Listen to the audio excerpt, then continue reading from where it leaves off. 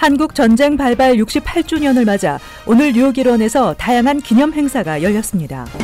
미주 한국 국악진흥회가 주최하는 세계 한국 국악 경연대회가 지난 주말 팰리세이스 팍에서 열렸습니다.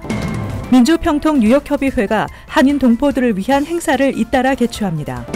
팰리세이스 팍 한인 유권자 협의회 등은 내일 오후 5시 팰리세이스 팍 타운홀 앞에서 인종과 성소수자 차별을 반대하는 2차 대규모 항의 시위를 개최합니다. 부모와 격리돼 수용 중인 미립국아동 2천여 명의 3분의 1인 최대 700명이 뉴욕주로 올 것으로 전망되고 있습니다. 이상은 이 시각 주요 뉴스입니다. 시청자 여러분 안녕하십니까? KBN 뉴스입니다. 한국 전쟁 발발 68주년을 맞아 오늘 뉴욕 일원에서 다양한 기념 행사가 열렸습니다. 올해는 남과 북이 대화를 재개하고 평화 무드가 조성되고 있어 더욱 특별한 의미가 있었는데요. 6.25 참전 기념비가 있는 뉴저지 포트리에서 열린 기념 행사에 지한샘 기자가 다녀왔습니다. 나팔 소리가 울려 퍼지고 전우를 먼저 떠나 보내야만 했던 그날의 아픈 기억을 되새겨 봅니다. 오늘 6.25 전쟁 68주년을 맞아 뉴저지 포트리 프리덤 파크에 위치한 6.25 참전 기념비 앞에서 기념식이 열렸습니다. 포트리 한인회 홍은주 회장은 한인은 타국을 위해 큰 희생을 치러야만 했던 참전 용사들에게 큰 빚을 졌다며 참전 용사들이 초고령기에 접어든 만큼 앞으로 그들이 편안히 지낼 수 있도록 최선을 다하겠다고 말했습니다. 올해로 68회를 맞는 6.25 한국전쟁 참전 용사분들의 희생과 넋을 기리고 또 참전 용사분들의 그 희생을 다음 세대에 전하면서 저희가 앞으로 꼭 기억하고 그분들의 희생을 기억하면서 앞으로 저희가 열심히 살아갈 수 있는 기회가 되었으면 합니다. 연날에 나선 참전 용사는 전쟁 당시 한국을 방문했던 기억을 이야기하며 치열한 전투 아래 희생된 전우들과 끝내 기다렸던 자식을 만나지 못했던 가족들을 기렸습니다. We were the lucky ones. We came home in parts and pieces, but we came home. How many men we left over there, uh, and their parents are still waiting for them to come home, of whatever we have left over there. Bring these guys home, give a rest to their parents. 기념사에 나선 어린 학생도 참전 용사들의 숭고한 희생 덕분에 지금 미국 땅에서 아메리칸 드림을 꿈꾸고 있는 자신이 존재할 수 있었다며 참전 용사들을 절대 잊지 않겠다고 말했습니다. 오늘 행사에는 대한민국 뉴욕 총영사관 관계자와 마크 소콜리치 포트리 시장, 박은림 뉴저지 한인회장 등이 자리를 함께해 참전 용사들에게 감사의 메시지를 전하고 한국 전쟁의 의미를 되새기는 시간을 가졌습니다. KBN 뉴스 지한샘입니다. 미주 한국국악진흥회가 주최하는 세계 한국국악경연대회가 지난 주말 팰리세이스 팍에서 열렸습니다. 4개 부문으로 나누어 치러진 대회에서 최고상은 남도 민요를 노래한 소리청 팀에게 돌아갔습니다. 지한샘 기자가 전해드립니다. 한국의 소리를 널리 알리고 재능 있는 예비 국악인을 발굴하고 지원하기 위해 미주 한국 국악진흥회가 주최하는 세계 한국 국악 경연 대회가 18회를 맞았습니다. 미주 각지에서 참가한 경연자들은 그동안 갈고 닦은 실력을 뽐내며 관객의 시선을 사로잡습니다. 18회 대회의 대상인 국무총리상과 1,500달러 상금의 주인공으로는 대학 일반부에서 남도 미녀를 노래한 소리청 강혜은외 7명에게 돌아갔습니다. 최우수상인 문화체육부 장관상은 대학 일반부에서 살풀이를 선보인 길미림 씨가 차지했습니다. 더 열심히 앞으로 더 열심히 하라는 의미로 받는 상이라고 생각하고 저희 또 앞으로 더 공연 좋은 공연 보여드리고 또 좋은 소리 들려드리도록 하겠습니다. 심사를 위해 참석한 국립전통예술중고등학교 김순옥 전 교장은 국악에 대한 애정을 가지고 이번 경연대회를 위해 많은 준비를 한 경연자들이 자랑스럽다며 앞으로도 그 열정을 간직해주길 바란다고 말했습니다. 어, 정말 이렇게 해외에서 이렇게 어, 전통 음악의 전 분야에 걸쳐서 정말 수준 높은 연주를 하고 어, 무용을 하는 것은 정말 큰 놀라움이었습니다. 정말 수준도 높고 그리고 정말 진정성 있게 열심히 준비하시고 경연자들의 공연 후에는 조유순 명창과 이재경 모건대학교 교수가 축하 공연을 통해 참가자들을 격려하는 시간을 가졌습니다. KBN 뉴스 지한샘입니다. 민주평통 뉴욕협의회가 한인 동포들을 위한 행사를 잇따라 개최합니다. 한인 청소년들을 대상으로 하는 통일 골든벨 퀴즈 대회와 전세현 전 통일부 장관 초청 강연회인데요. 한인들은 누구나 참석이 가능합니다. 이명주 기자가 전해드립니다. 민주평통 뉴욕협의회가 한인 청소년들의 통일에 대한 관심을 높이기 위해 통일을 주제로 하는 골든벨 퀴즈 대회를 개최합니다. 6월 30일 오후 2시부터 뉴저지 한인회관에서 열리는 통일 골든벨은 한인 고교생들을 대상으로 하며 한국의 역사와 사회 등 일반 상식, 그리고 남북한 관계에 대한 문제들로 한국어와 영어 이원 언어로 출제됩니다. 음, 미국 협의회, 뉴욕 협의회에 맞춰서 88문제를 뽑아가지고 예상 문제를 만들었고요. 그 예상 문제는 영어와 한국어로 되어 있고요. 어, 그 문제를 이제 학생들이 예상 문제를 미리 연습해 갖고 오면 어, 당일날 OX로 해가지고 어, 보도판에 해가지고 이제 출제 예상 문제는 뉴저지 한인의 웹사이트에서 받아볼 수 있습니다.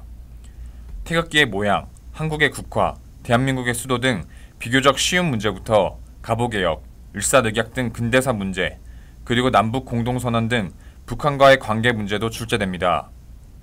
최우수상과 우수상 수상자에게는 각각 500달러와 250달러의 상금이 수여되며 최우수상 수상자는 한국에서 열리는 결선대회 참가 자격과 왕복 항공권이 부상으로 주어집니다.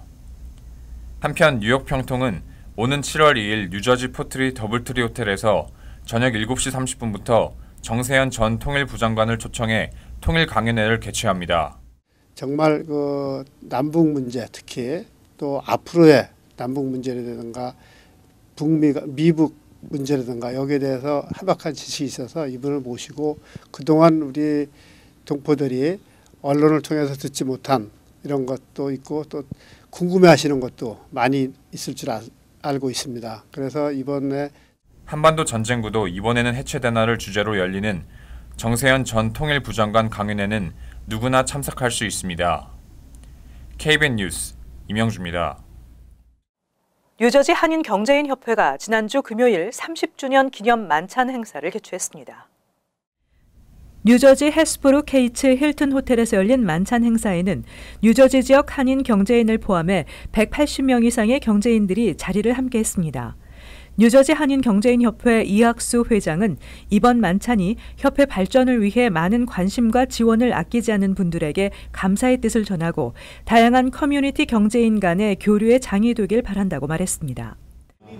쉽게 얘기하면 회원과 비회원 간에 또는 비즈니스 하시는 분 간에 좋은 네트워킹 하는 그런 자리를 만들어서 저희들이 어, 어, 좋은 관계를 유지하고 장래 어, 비즈니스에 서로 간에 도움이 될 수 있도록 그런 자리를 만드는 게 저희 갈라의 목적입니다. 그리고 이제 더 하나는 이제 차세대 학생들한테 좋은 어떤 모티베이션이 될 수 있도록 그런 목적으로 저희들이 갈라를 하고 있습니다.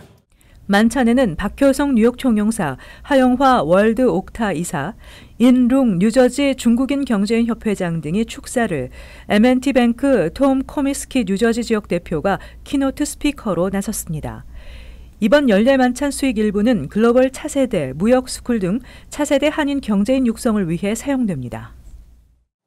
펠리세이즈 팍 한인 유권자 협의회 등은 내일 오후 5시 펠리세이즈 팍 타운홀 앞에서 인종과 성소수자 차별을 반대하는 2차 대규모 항의 시위를 개최합니다. 이들은 로툰도 시장 모친과 가족, 펠리세이즈 팍 정부의 공무원과 시의원들에게 사과와 함께 재발 방지책을 요구하고 있습니다. 뉴저지 제임스 로툰도 펠리세스 팍 시장의 모친이 한인을 비하하는 인종차별적 발언으로 촉발된 파문이 헨리 루 펠리세스 팍 시의원의 성소수자 차별 발언까지 더해지면서 확산되고 있습니다. 이번 2차 대규모 항의 시위는 평등을 위한 한인연합과 펠리세스 팍 한인 유권자 협의회, 성소수자 단체 등이 참여하는데 지난 10일 펠리세스 팍 타운홀에서 1차 시위를 연 지 보름여 만에 성소수자 단체까지 참여한다는 점에서 주목을 받고 있습니다. 이번 시위에 성소수자 단체들이 동참하게 된 것은 헨리루 펠리세스팍 시의원이 성소수자 수습 경찰이었던 로버트 드비토 전 경관에게 성소수자 차별 발언을 하는 모습이 동영상을 통해 드러났기 때문입니다. 이번 시위를 주최하는 단체들은 로툰도 시장 모친과 가족, 팰리세이즈팍 정부의 공무원과 시의원에게 사과와 함께 재발 방지책을 촉구할 계획이라고 밝혔습니다. 한편 로툰도 시장의 모친인 로레인 로툰도 여사는 팰리세스팍 시장 민주당 예비선거 다음 날인 지난 6일 페이스북에 한인들을 향해 비속어가 섞인 한인 비하 발언을 했으며 팰리세스팍 공무원으로 근무 중인 로툰도 시장의 지지자 린다 파렌테가 이에 동조하는 댓글까지 올리면서 파문이 확산되고 있습니다. 뉴욕시 한인 밀집 지역을 선거구로 두고 있는 연방 하원 예비 선거 후보들이 모두 이민 개혁의 필요성에 의견을 같이 했습니다. 민권센터는 오는 26일 예비 선거에 한인 유권자가 적극적으로 참여해 커뮤니티의 목소리를 높여야 한다고 전했습니다. 아시안 정치력 신장 연맹인 APA 보이스는 지난주 민권센터에서 회견을 열고 연방 하원 5, 12, 14 선거구에 출마한 후보들의 정책 현안에 대한 질의 응답서를 발표했습니다. 아시안 비율이 전체 인구의 16.5%에 달하는 14선거구 조셉 크라울리 의원은 가족 초청 이민 제한 시도에 강력히 반대할 것이며 포괄적 이민 개혁안을 통과시키고 드리머들에게 시민권 취득의 길을 보장해야 한다고 밝혔습니다. 크라울리 의원의 도전장을 던진 알렉산드리아 오카시오 코르테스 후보는 포괄적 이민 개혁안 지지는 물론 이민 세관 단속국 폐지를 위해 싸우겠다는 입장을 밝혔습니다. 퀸즈 우드사이드와 그린포인트 등을 포함하는 12선거구의 캐롤린 멜로니 현역 의원도 포괄적 이민 개혁안 법제화, 가족 분리 수용 정책 반대, 비자 발급 적체 해소 등의 입장을 밝혔습니다.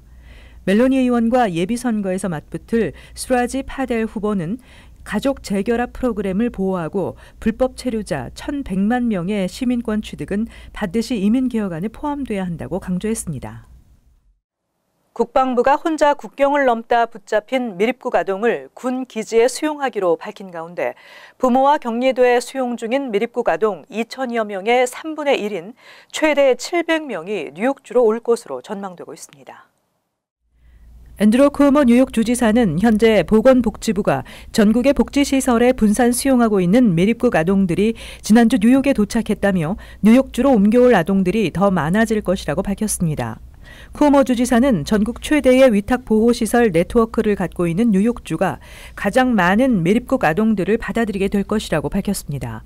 현재 보건복지부는 전국 각 시설로 보내는 아동들의 현황에 대해 연방 정부의 정보 공개 금지 지침을 따라야 하기 때문에 정확한 숫자를 제시하지 않고 있어 구체적인 이동 인원은 파악하기 힘든 것으로 알려졌습니다.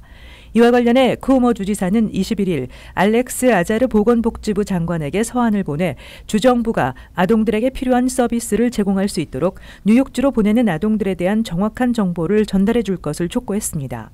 한편 국방부는 혼자서 국경을 넘다 붙잡힌 이른바 나홀로 미립국 아동 2만 명을 군기지에 수용하기로 했다고 AP통신 등이 지난주 보도했습니다.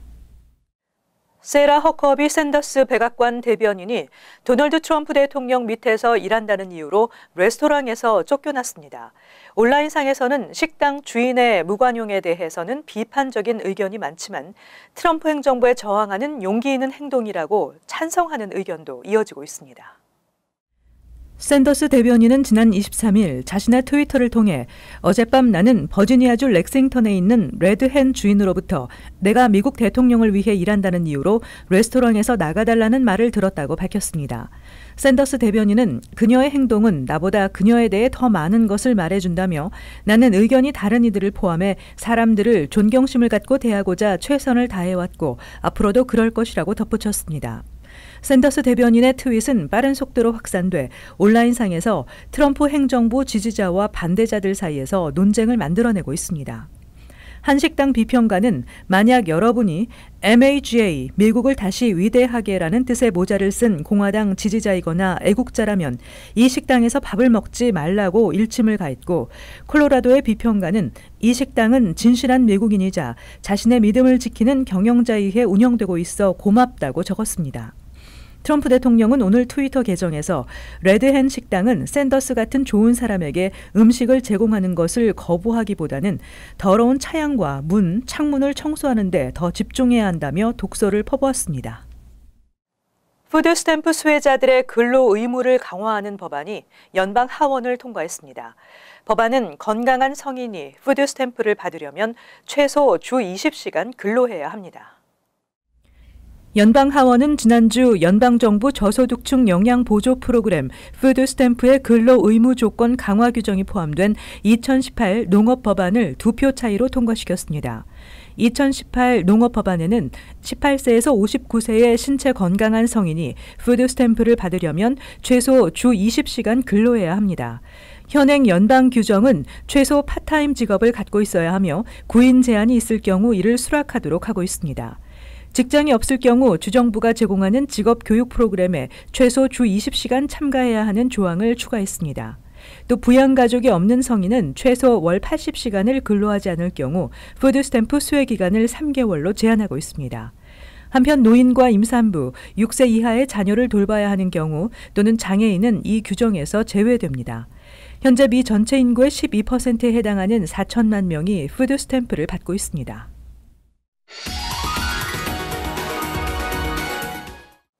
이어서 LA 지역 한인사회 소식입니다. LA 한인타운 노숙자 쉘터 논란과 관련해 LA시가 한인타운 지역, 윌셔, 버몬트 지역의 대안 부지로 새로운 두 곳을 제시했습니다.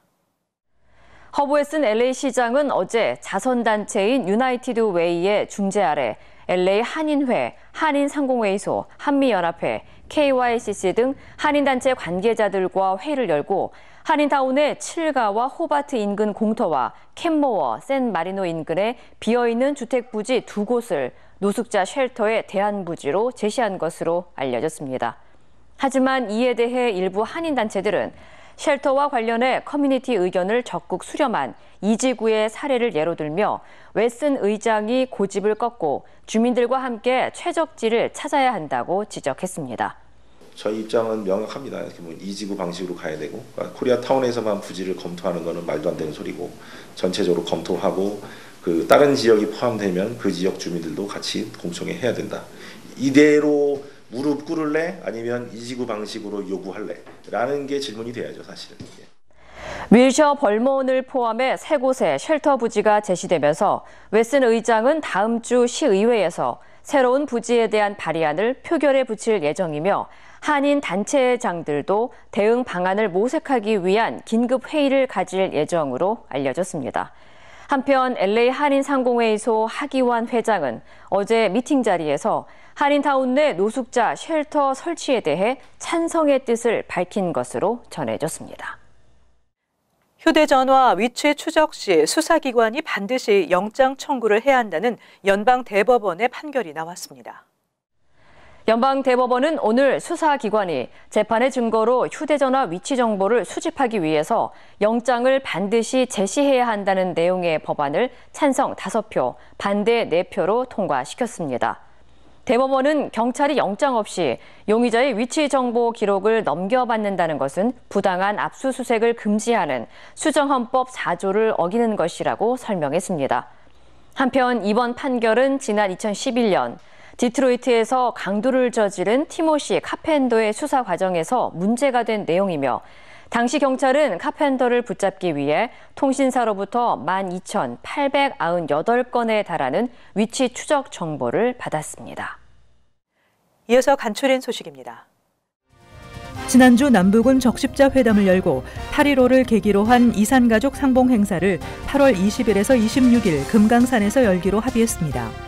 이와 함께 1천만 이산가족위원회 LA지회와 북가주 이북 5도 연합회 등 미주 지역 이산가족 단체 관계자들은 미주 지역에서도 독자적으로 이산가족 상봉을 추진하겠다는 입장을 밝혔습니다. 주한미 8군 부사령관에 한국군 최초로 김태업 육군 준장이 취임했습니다. 주한미군이 8군 부사령관에 한국군 장성을 최초로 임명한 것은 한미 동맹을 더욱 굳건히 하려는 의도로 풀이됩니다. 김 준장은 한미연합사령부 부사령관 보좌관 등을 역임한 바 있습니다. 미 8군에는 김 준장 외에도 알란 디블릭 부사령관과 비엣 루옹 부사령관이 있습니다.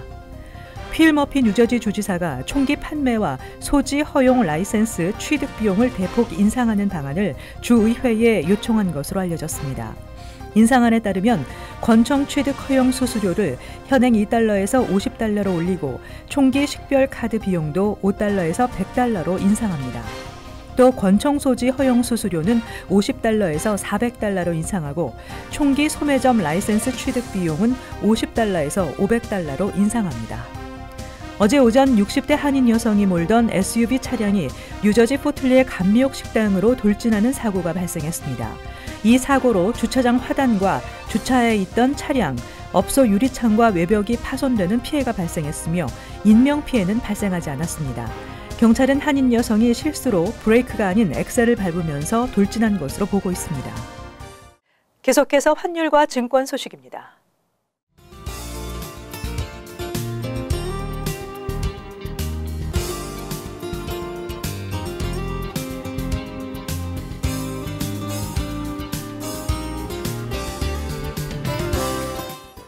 끝으로 날씨 전해드립니다. 화요일은 대체로 맑고 낮 최고 기온은 77도, 섭씨 영상 25도, 밤 최저 기온은 64도, 섭씨 영상 18도. 수요일은 곳에 따라 흐리겠습니다. 목요일 흐리고 습도가 높겠고 몇 차례 비와 소나기 예상됩니다. 이상으로 KBN 뉴스를 마칩니다. 시청해주신 여러분 고맙습니다.